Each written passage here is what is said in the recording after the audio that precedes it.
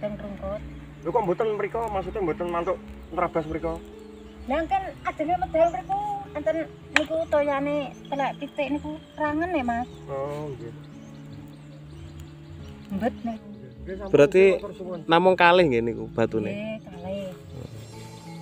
Nggih temeng ngoten lho. Watune niku nggih mrikine nggih teko disaben, lah sing mriki niki genengan ngoten lho. nggih nggih nggih Nggih tenguk-tenguk. Ketrian nggih ten mriku nggih Nggih. Nggih mboten dinapa-napakaken, nggih mboten dilem, mboten korene jenengan kepireng mboten kenging dilem ngoten bekne. Nggih, tiyang arit mau sanja. Nggih. Pergi niku tiange niku nggih. Tiang yang sugih. Ini Pak Tidar niku lho sabene sak gerah niku lho. Sakniki digeni Darto niku lho yogane namung tunggal niku. Hmm. ngisi disian ngisi ngedanten wong apa maling kan mereka? Mungkin niku miri gitu lah niku nggih singet disian pikiran masa ini miri niku aku mungkin kado cungkup waktu ini kali. Kali. Disian nonton biang yang masuk ke pelapa kenal hmm. contoh aku bukan yang terkecangnya namun tiang tiang cungkup disian Dene gawat niku terus ditinggal. Nggih. Kok korene niku nek bengi niku lho diceluki ngoten mawon lho disien to rene lho. Di pelapak niku. Niku namung tigang sungkup, Mas. ten mriku nggih nggih ten miri niku lho. Nggih pokoke nggih kidule pelapak niku lho. oh Sumur niku kidul. nggih nggih nggih Kan iki sabin kok, Mas. sakniki dados saben Nggih. Tiange di lapak. Tapi ning nggih mboten dangu. Mantuk tempeku nggih terus sakit nggih.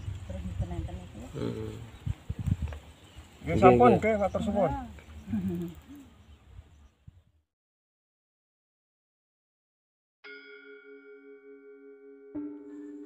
Assalamualaikum warahmatullahi wabarakatuh Ketemu lagi di Nantris Channel Kali ini Saya berada di suatu tempat Yaitu tepatnya di Dusun Pelapak Desa Ganggang Tingan Kecamatan Ngimbang Kabupaten Lamongan Di video kali ini Saya ingin menunjukkan penemuan batu misterius yang ada di salah satu sawah. Sebut saja pemilik sawah tersebut, yaitu Pak Darto, yang tinggal di Dusun Pelapak, Desa Ganggang Tingan, Kecamatan Ngimbang, Kabupaten Lamongan. Batu ini sering disebut batu kuda karena bentuknya yang mirip kuda. Dan batu ini sendiri ada dua pasang di sawah tersebut. Konon ceritanya, kata warga sekitar, bahwa batu ini tidak dapat bahkan tidak ada yang berani memindahkan ke tempat lainnya ya teman-teman. Itulah sebabnya batu ini dianggap keramat oleh warga sekitar.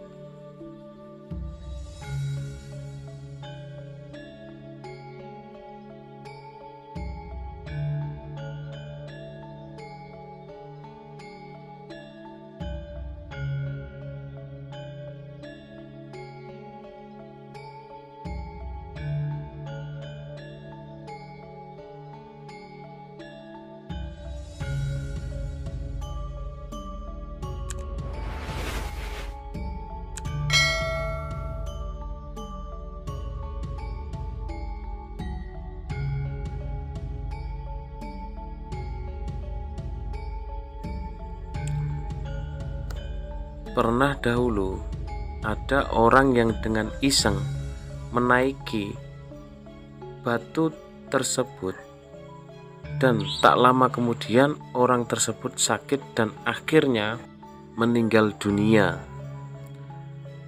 Seperti itu cerita dari warga sekitar ya teman-teman. Maka batu ini sangatlah keramat menurut warga setempat Dan menurut cerita, batu ini adalah tanda batas kerajaan Majapahit sehingga batu ini sangatlah keramat hingga tak mampu dipindahkan ke tempat lainnya. Wow, serem sekali ya.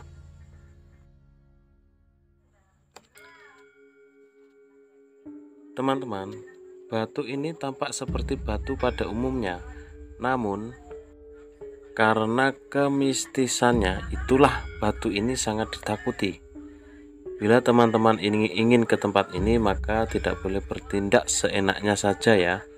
Karena kita harus menghormati penunggu tempat ini. Mari kita jaga peninggalan-peninggalan yang mempunyai nilai sejarah yang tinggi di sekitar kita agar tetap lestari dan terjaga.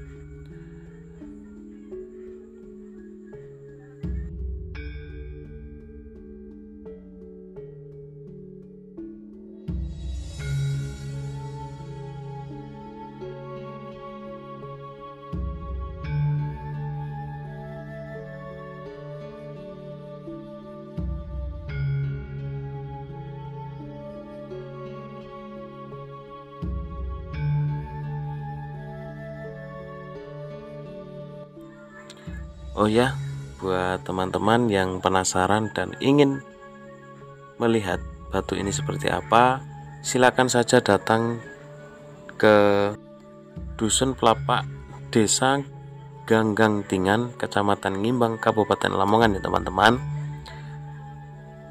Tepatnya ada di lahan sawah milik Pak Darto yang berala- beralamatkan di Dusun Pelapak, Desa Ganggang Tingan, Kecamatan Ngimbang, Kabupaten Lamongan. Oh ya, buat teman-teman yang tahu tentang batu ini bisa kirim saran dan kritiknya di kolom komentar yang teman-teman.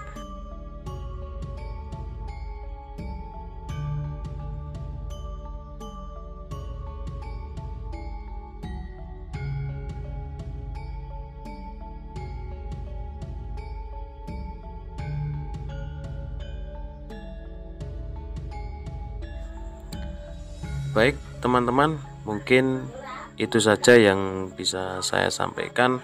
Semoga video ini bermanfaat dan bisa terhibur.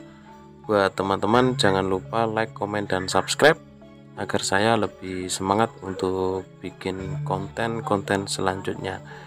Oke, cukup di sini saya akhiri. Wassalamualaikum warahmatullahi wabarakatuh.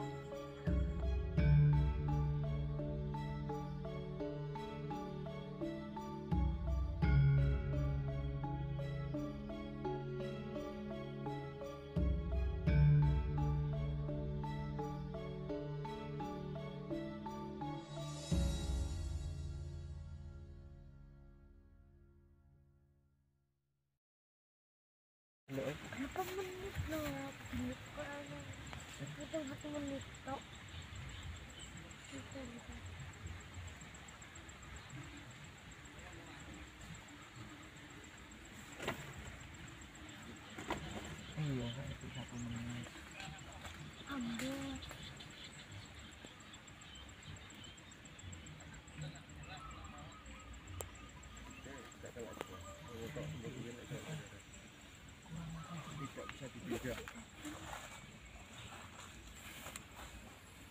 Gimana kan tetap bentangan suruh